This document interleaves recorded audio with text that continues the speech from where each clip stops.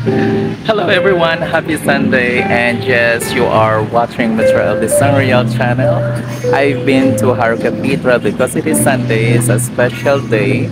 I also pray and that is always my routine every Sunday and I have also the chance that to go upstairs at the um, Nuestra Senora de la Candelaria. I will gonna show you because during fiesta it's a bunch of people that really flock in there. We don't have a chance so this is the only time that I can show it to you upstairs. Finally guys, we are here at the top of the altar of Nuestra Senora de la Candelaria, Jaro Cathedral patron saint of our fiesta. And I do apologize because I really need to extreme close-up and this is what you see the sum of the devotees. This is also the right wing which is the entrance and different from the exit the left wing here is the exit. Students or even uh, families young adults or even older much better that they are praying in this replica this is also on the top view if you're standing here at the top of Nuestra Senora de la Candelaria. You can see everything from the Jaro Plaza adjacent to Jaro Cathedral. The Mass is just over 30 minutes from now and look at the crowd and the road.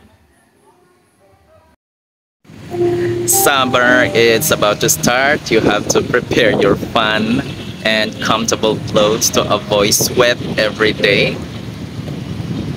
Look at this, the, the rays of the sun is really painful now. It's almost 10 a.m. Basically, I am in the middle of the plaza in a shaded area. I don't want to scorch under the heat of the sun to avoid fainting. I will try to capture what's really going on around me.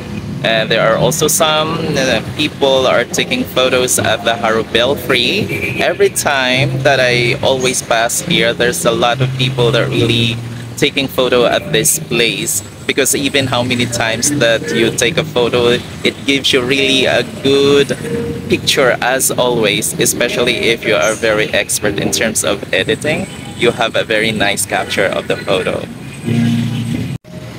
Before in this the middle of the plaza this is the aviary and now look at this. It is already a very nice comfortable place that's really convenient for you if you want to sit down and relax. I'm sorry for the disturbance of the back because they are destroying the Jaro gym. And this is only a concise video for now. If you really like this episode for today and you are not familiar to my channel please consider subscribe to support this content. If you like this episode just give us a thumbs up and you can also provide your comments on the comment section below. Thank you very much for watching. See you later. Bye bye guys